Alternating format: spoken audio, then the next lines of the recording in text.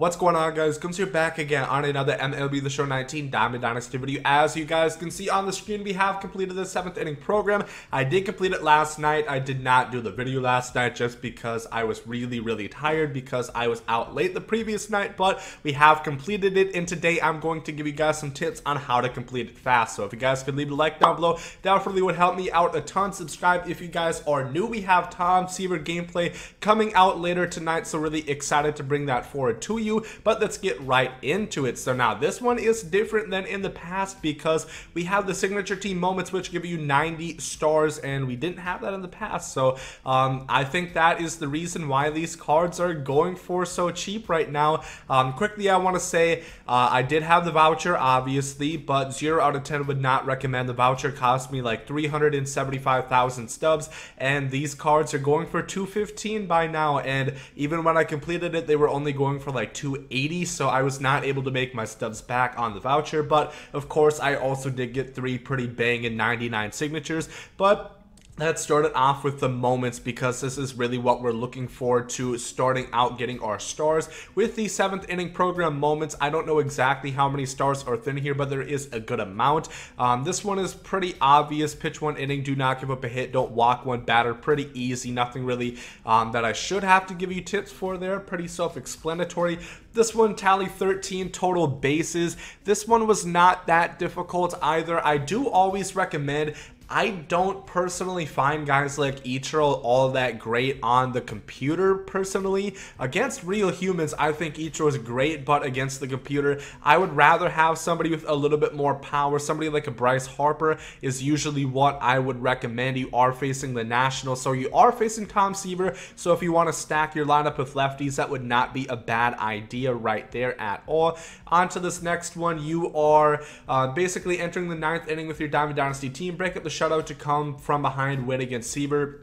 I believe you're just losing by one or two runs. Once again, all not that difficult, but now that you know it is against Tom Seaver, just prepare and stack your lineup with lefties. You know, put in Lou Gehrig if you have him, put in Bryce Harper, put in the Billy Williams from Healy's Sony partner moments, and that should help you out a bit as long as you have that favorable matchup going through and going forward. Once again, right here, strike out one batter. This is not all that difficult. Um, you're literally striking out Tom Seaver on Hall Fame difficulty. Uh, I was using Clayton Kershaw. This was not that difficult once again. Here you have to mount a two-run comeback starting in the seventh inning. Um, this is the boss battle, so once again you are going to face Tom Seaver. Um, so I'm going to say the same thing, stack your lineup with lefties, and that is going to help you out. In general, I would just say this is on All-Star. Focus in, wait for your pitch, hardly ever swing. I would usually never swing at the first pitch. Um, probably not until there's two strikes or at least one strike, to be honest with you. Wait for fastballs and then just drive them once they are thrown to you, and you shouldn't have all that too much difficulty with those. Here we have tally eight total bases with Jeff Bagwell. Um, now, I do always recommend to power swing using the square button whenever you're doing uh, total bases because you're going to need extra base hits um, for these, and Jeff Bagwell is not batting first, so you're going to already limit yourself on how many at bats you're going to get. Um, this isn't playing in Minute Maid Park, so just try to pull them and hit it over the wall, over the train tracks, and that wasn't too hard for me. Here we have hit one home run and steal one base. I do quickly want to hop into this one. Um, I see a lot of people asking how do you steal bases in moments, so I quickly want to give you guys one of my tips. Um, and I don't know exactly how easy it's going to be to show you guys because I have to get on base. But pretty much the premise of what you're going to want to do is this button. If you've ever played Road to the Show, you're going to know exactly what I'm talking about. This button right here is going to zoom in. Um, I guess it's called the right analog stick if I I'm going to be technical. You're going to zoom in with that, or I think it's actually the left analog stick. It'd be a lot easier. Hopefully we can get on base right here and then you're just going to be zoomed in and you're going to be able to see exactly once he starts that motion and you're going to be able to head out and try to steal that base. That's what I would recommend. I don't think you ever have to take a step from first base, but I would say to hit the R1 and that is going to make you leaning towards and that should give you all the jump that you really need. Andre Dawson already has a good amount of speed and stealing. You don't really need all that much else in my opinion. So I'm going to try this at bat if we can can get on base, we'll get on base, and I can hopefully show you guys.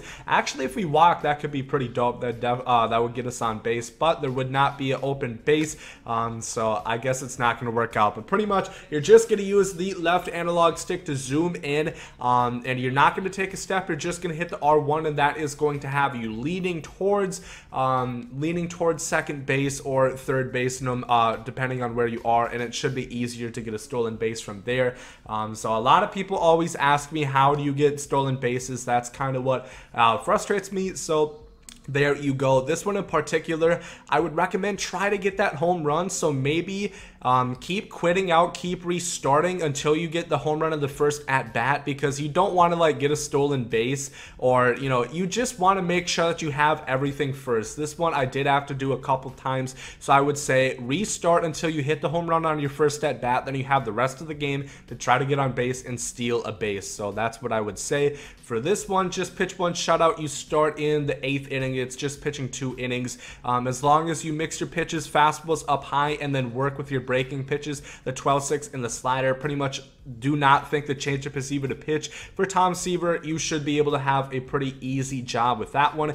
Tally three hits and an extra base hit with Andre Dawson. I did power swing with this one once again. I didn't have too much issues with it. Um, it goes for the same thing. Whenever it's a hitting mission, just wait for your pitch and you should be able to drive it. Hit one home run with Jeff Bagwell. What I will say for this is I would go into your settings and put it on uh, pure or not pure analog but um, directional hitting because what you're going to want to do, if it's on directional hitting, all you have to do is point your left analog stick um, that way. So as long as you have it like that and it's going to be inverses, um, basically point it to the left, you know, point it to the top left and that is going to help you pull and drive that ball. So if it's a fastball down the middle, you don't have to worry about lining your PCI up. And I found more success doing that uh, opposed to having actual zone hitting. So I would recommend that. And then the final one, of course, is the boss battle. Once again, just wait for your pitches.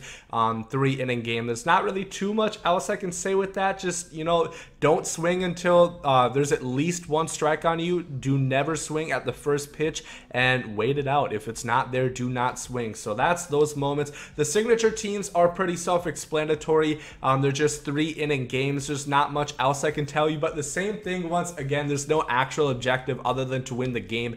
Wait for your pitch. They're all on veteran difficulty. Um, there You do have a bullpen, so and it doesn't matter with the stamina. So if you don't don't like the starter, just go ahead and take him out and bring somebody in from the bullpen. Actually, you're using your own team. That's what I would do a lot of times. I would just bring in Trevor Hoffman, really good per nine, so they would never hit him, and I was pretty much on cruise control from there on out. These games take about 10 minutes. I found them really easy to do as long as you can get like two, one or two runs and then kind of just bunt your way through it, make it go as fast as possible signature teams should be no issue for you at all. So that's those. Conquest I do want to talk about. Originally, I was not planning on doing the Conquest. Of course, I have done it because there's 11 strongholds compared to the uh, five that you have to do in the last one. So it's more the double the work that you have to do, and I just find it to be a lot more annoying personally. But for this, what I would recommend, what I always do in Conquest is I always just try to grab as many hexagons as possible, build up your areas because that's what's going to be able to get you more fans within these reinforced stages. And what you're always going to aim to do do not try to create a pipeline that is going to bite you in the ass in the long run.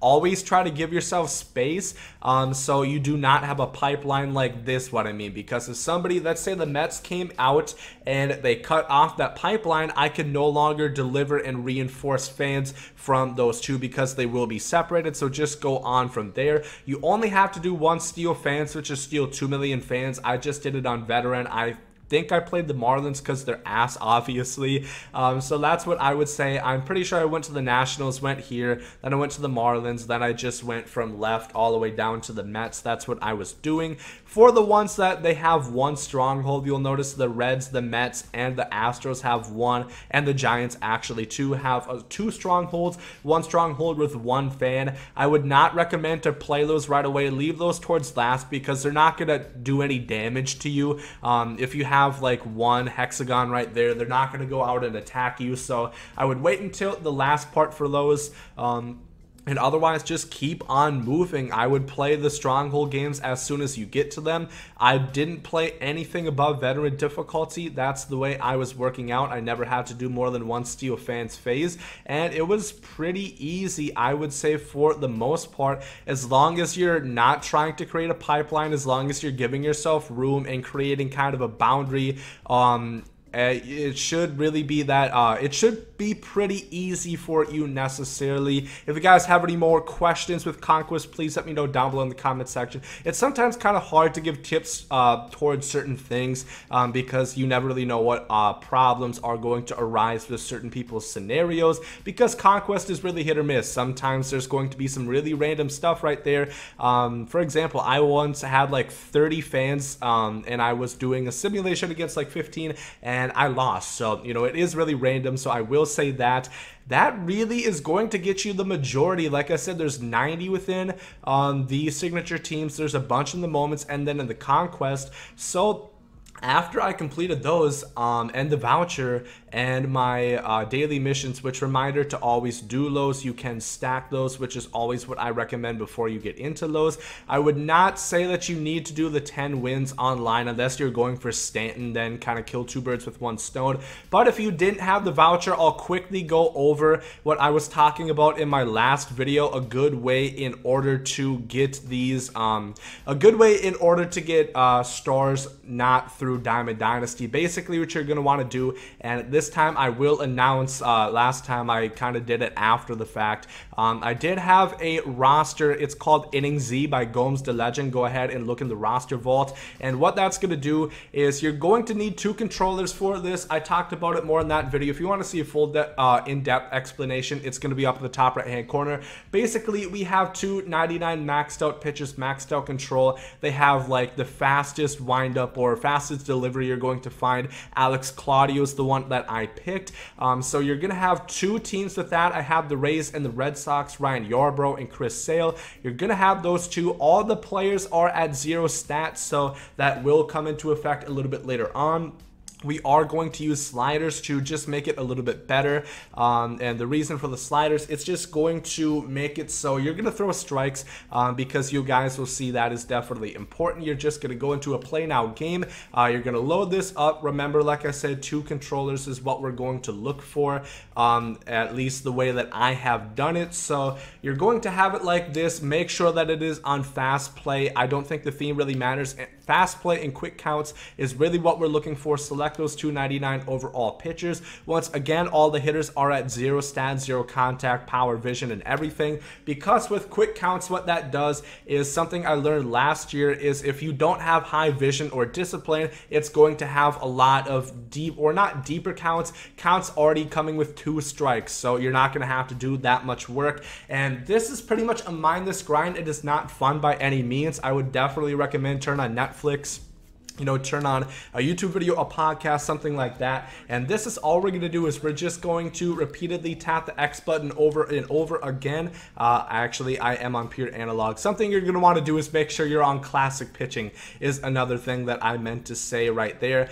Uh, because classic, you're just going to be able to tap the button repeatedly and you're pretty much going to go from there. Like I said, with these stats or with these sliders and attributes with these pitches, they're pretty much going to throw strikes each and every single time. So you really don't even have to look at it in a sense. You can do whatever, watch whatever you want on your computer, on your TV, whatever the case may be on your phone. And you're just to keep tapping the X button right here. We're to get done with the inning. And then we're to switch over onto the other controller. This is the home team, so I will try to score a run. And once again, I don't have peer, I don't have classic pitching enabled on both. So we're to go ahead and do that really quick. But what I always do in the first inning is I make sure to score my runs. So we're just going to try to pretty much hit the ball, and then we're going to go from there. Uh, Mookie Betts, uh, and now we're just going to move him towards home, and we're going to let him score. Um, so that one run, it's the home team. This is just going to make sure that the game is suitable to end once we get into the ninth inning, and we don't have to play the latter half. Um, because as far as I know, You don't want this game to go into extra innings, and you're just going to repeat that cycle, repeat that process entirely throughout the game. And that's pretty much all that you're going to have to do. You get through a game, you get a star or two. Sometimes it is two stars, sometimes it is one. It might not immediately show up. What you're going to want to do is go into the program, and obviously, I didn't earn one there because I played one inning or half an inning. Um, but you're just going to go into the program, and once you back out, it should showcase that you do have that star. Two two stars. It's usually like 1.2, 1.3 stars or something like that that you do earn. So sometimes it'll show up as two, sometimes one, but that is how I completed the seventh inning program fast. Like I said, I did have the voucher, so I was able to complete it faster. Quick tip, if you get it done, go ahead and sell the card. I think they are going to go down quite substantially just for the fact that it is a lot easier to do with the 90 stars in signature teams. But this video is already quite long. I'm going to leave it there. If you guys enjoyed, please make sure to leave a like down below. Any other questions, comments, concerns, please leave down below in the comment section. I'll be glad to go ahead and answer those and give you guys any assistance that I possibly can. But hope you guys have a great day. There goes Zodi.